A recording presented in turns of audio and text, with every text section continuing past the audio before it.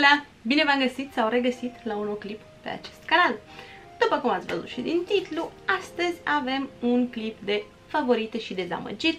Știți că în ultimul timp le fac cam la două luni.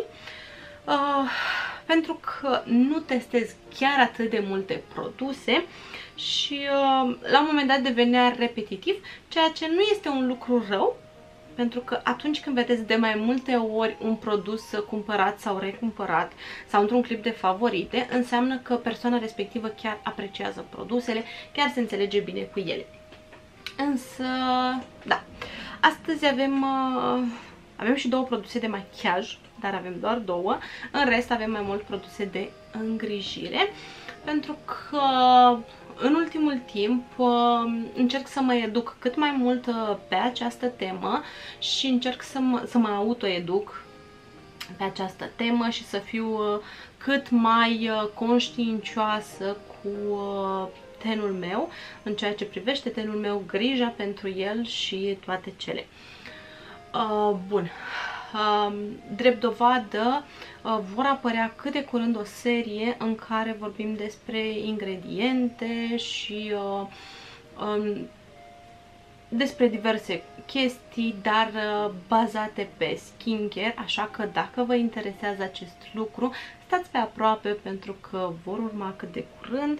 Dacă mă urmăriți pe Instagram, ați văzut deja un sneak peek, să-i spunem așa, am, am pus o fotografie acum ceva timp în care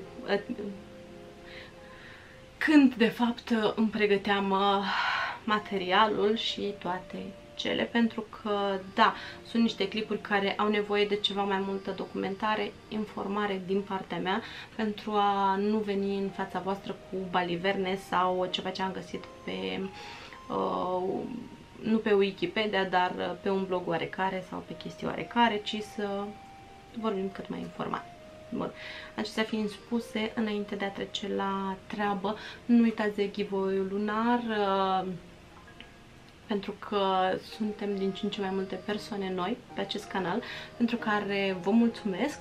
Uh, așa că nu uitați că pe acest canal, uh, sau dacă nu știați, aflați acum, se află un giveaway lunar. Cel mai multe, mai multe detalii veți afla în um, cutiuța cu descriere unde aveți uh, link către clipul în care vedeți uh, regulile jocului, să spunem așa, și ce produse se află pentru această lună în concurs. Bun, haideți să trecem la treabă și să începem cu... Uh... Hai să începem cu dezamăgirile, pentru că sunt doar două. Și în primul și în primul rând uh, vorbim despre Precisely My Brow Pencil de la Benefit. Eu l-am într-o miniatură, este super hăipuit pe internet, este foarte lăudat uh, și am vrut și eu să-l încerc. Deci am fost și eu curioasă, am vrut și eu să-l încerc, însă nu m-am îndurat să să dau banii pe el în full size, așa că mi l-am luat în um, travel size într-o miniatură, deși și așa a fost mult mai scump decât uh, cel pe care urmează să vi-l să vi prezint în partea de favorite. Dar uh, da, am vrut să-l încerc, măcar știți vorba aia, să nu mor proastă. Dacă um, mascara de la Gimme, uh, Gimme Brow, de la Benefit, uh, pot să spun că mi-a plăcut uh, îmi place la fel de mult și cea de la Essence, însă periuța de la cel de la Benefit este ceva mai mișto din punctul meu de vedere, însă produsele sunt copii 1 la 1, Essence după Benefit, dar da, acolo este altă treabă.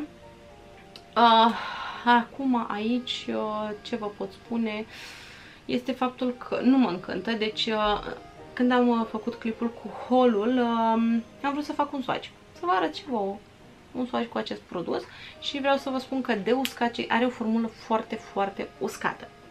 De uscace este, mi s-a și rupt o bucată din el. Deci vă dați seama cam cum mă doare sufletul când am văzut tarisipa acolo.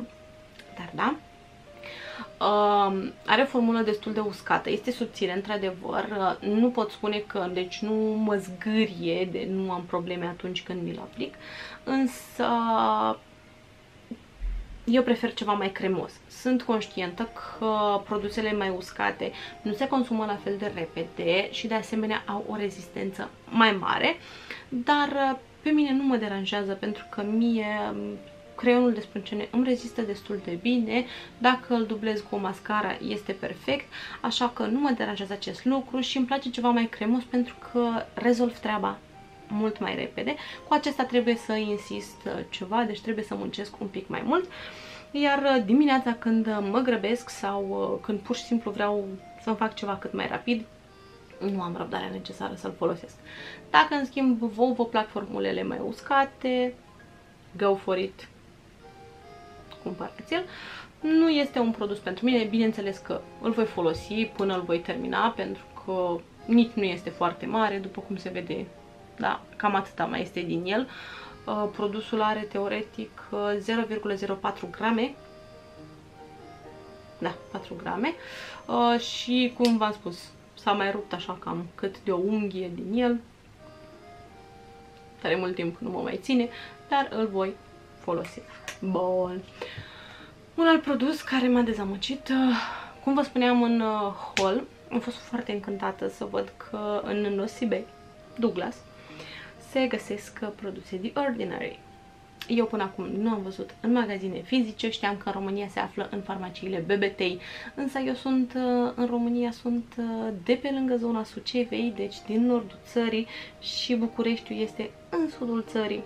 După ultimele mele verificări geografice, deci sunt părți total opuse, așa că da, de, mă tenta la un moment dat să-mi dau o comandă pe internet când eram în România, dar uh, m-am lăsat baltă. Um, și uh, de asemenea știu că se poate da comandă de pe site-ul Deciem, însă dacă tot le-am văzut acum în Nosibe, sunt apărute de undeva de vreo două luni, cam așa, se găsesc produsele, uh, am zis hai să-mi iau și eu câte ceva, uh, ați văzut cred că deja în haul, uh, bun, produsul care m-a dezamăgit și o să vă spun imediat și de ce, este vitamin C Suspension 23% plus HA Spears 2%. Este un produs fără silicon și este o suspensie stabilă. Vitamina C are suspensii stabile și suspensii instabile. Despre asta o să vă vorbesc într-un alt clip.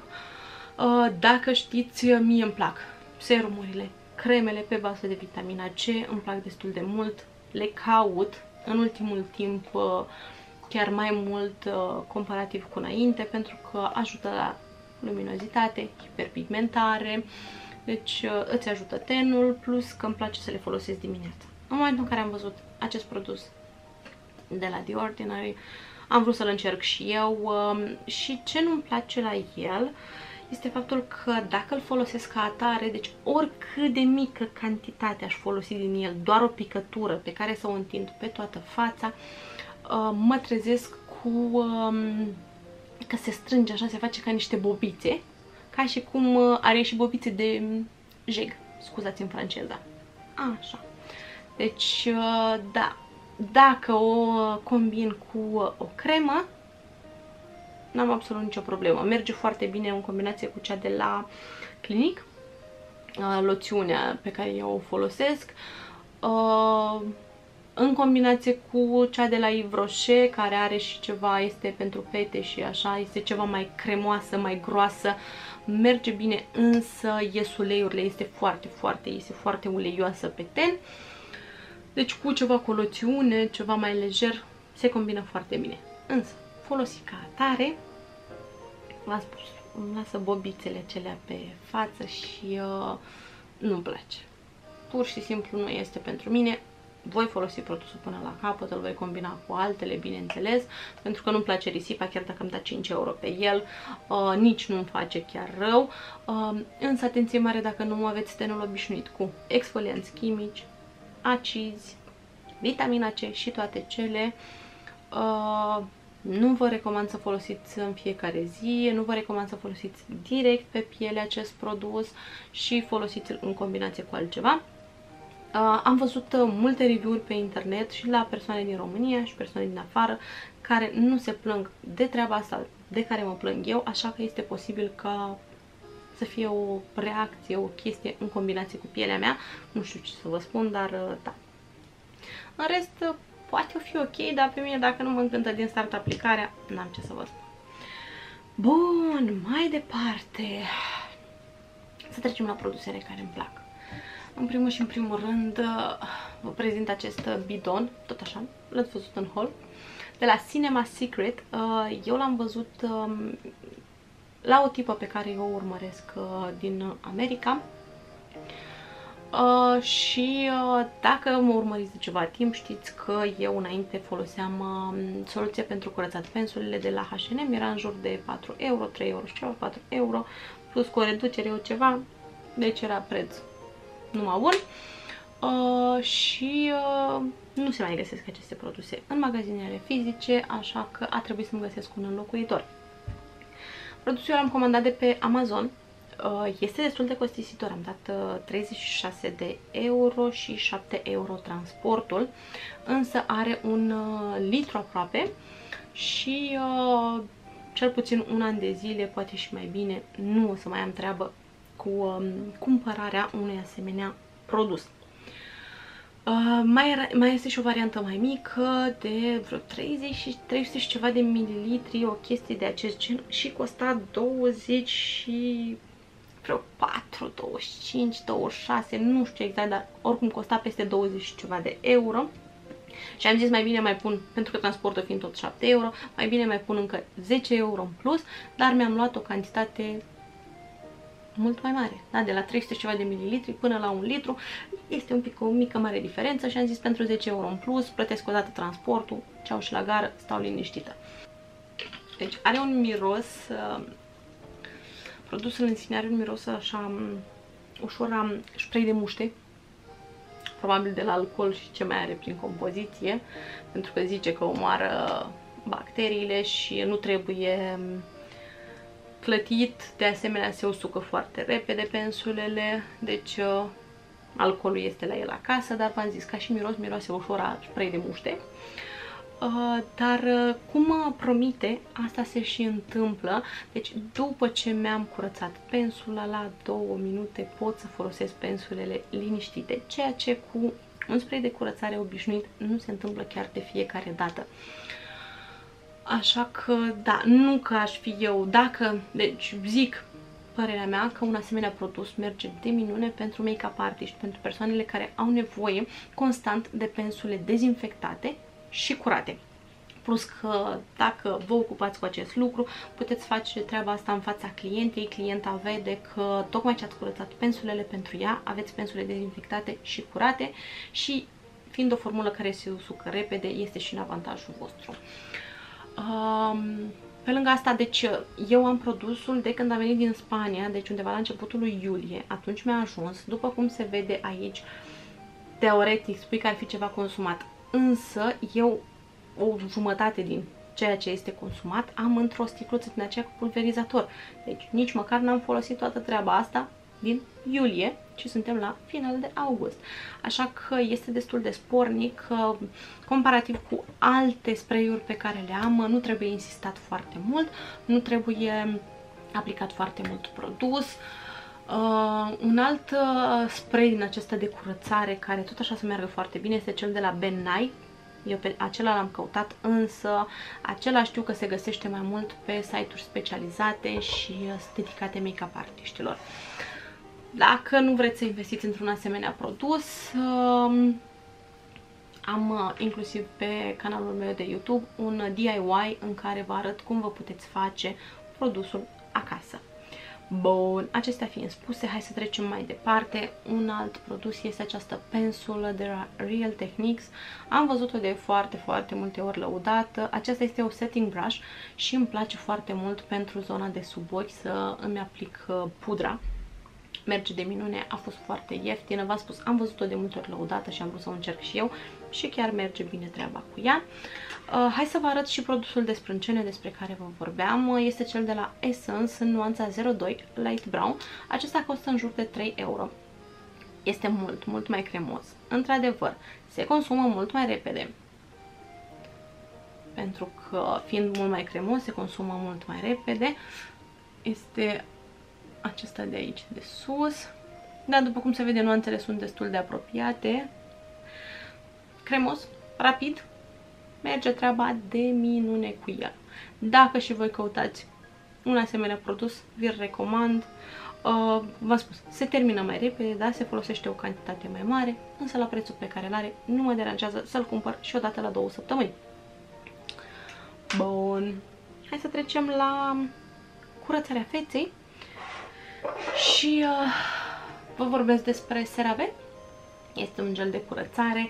Voi l-ați mai văzut la mine pentru că l-am avut și într-o variantă mai mică și drept dovadă că mi-a plăcut îl am și în varianta mare. Acesta are ceramide, niacinamide și acid hialuronic.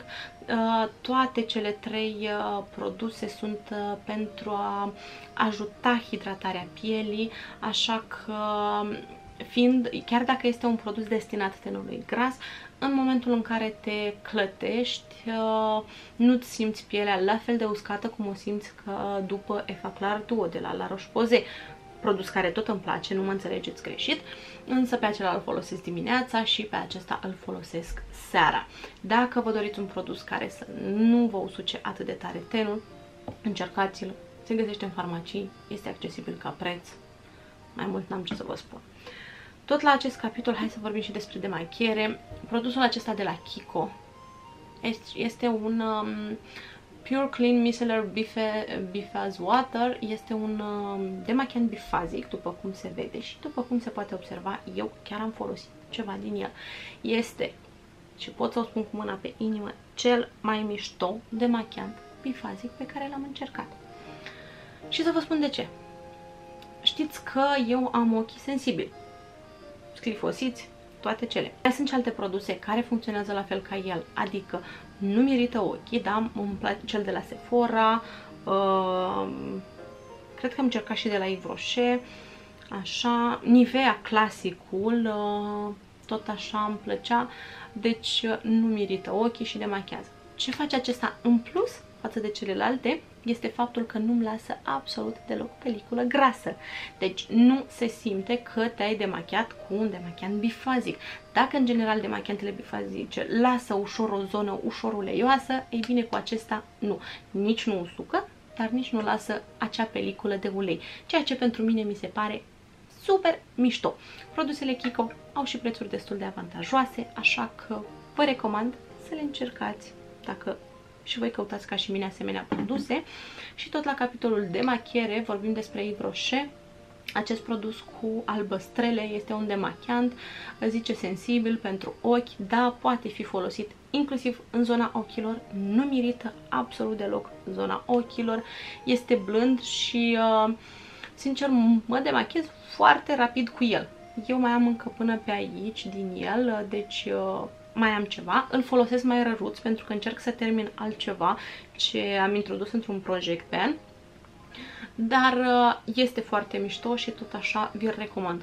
Blând, rapid, v-am spus, deci îmi dă jos inclusiv uh, Better Than Sex de la uh, Too Faced, da, mascara care este destul de rezistentă, Așa că, deci, și prin urmare, este un produs uh, pe care vi-l recomand. Uh, cu toată inima, cu toată încrederea, pentru că am văzut cât de blând este. Zic eu că aici spune pentru ochi sensibil, merge foarte bine și pe un ten sensibil, pe un ten cu probleme. Bun. Următorul produs uh, este un produs de îngrijire a tenului uh, de la Yves Rocher din gama Sebo Vegetal și este o esență reechilibrantă și antioxidant. Cam așa se prezintă. Eu mai am până aici din produs, deci mult mai bine de jumătate l-am terminat, așa că îmi pot spune o părere despre produs în sine. Um, ce este o esență în primul rând? În primul și în primul rând o esență este un uh, produs uh, pe care îl aplici uh, între toner și serum. Este necesar? Nu. Putem uh, trăi foarte bine și fără aceste tipuri de esențe, uh, însă eu atunci când uh, mi-am luat produsul nu m-am uitat atent și credeam că este un serum. Dacă tot l-am luat, am văzut abia după ce l-am folosit de câteva ori, m-am uitat mai atent pe etichetă și am văzut că de fapt scrie esență. Dar, da, este pentru piele mixtă și uh, uleioasă și uh, are o Are o consistență, nu știu dacă se vede, foarte, foarte lichidă. Deci are o consistență ca de apă. Dacă aveți un ten uleios, vă doriți totuși să folosiți un serum ceva înainte de cremă, dar căutați ceva cât mai uh, lejer, acesta este unul din acele produse. Un produs asemănător, care nu este esență, este serum, este cel de la Vichy cu acid hialuronic, care tot așa se simte ca o apă, iar uh, altceva ar fi el mi plantă cel cu colagen. Asta din ceea ce am încercat eu, pentru că sunt sigură că variante mai sunt cu duiumul. Dar uh, v-am spus, uh, cel puțin acum, pe timpul verii, îmi place foarte mult, uh, este foarte lejer și se simte plăcut pe piele.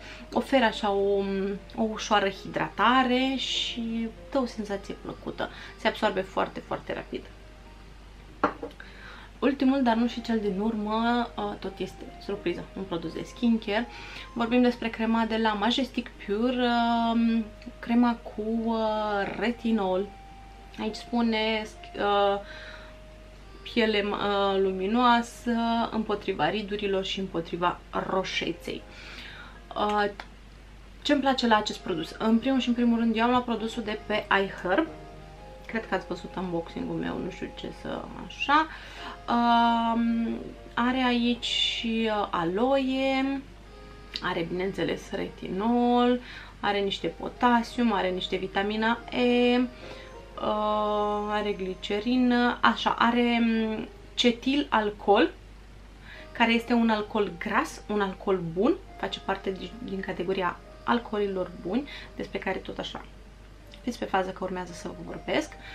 Um, ce mai are? Glicerină vegetală, vitamina B5, uh, are și la sfârșit și un pic de acid citric, dar uh, în principiu, din cât mă pricep eu bineînțeles și din ce am m-am mai documentat, are ingrediente destul de mișto și plus v-am spus, uh, chiar dacă conține alcool, conține un alcool gras, un alcool bun pentru ten, în special genul de alcool minunat pentru un ten uscat.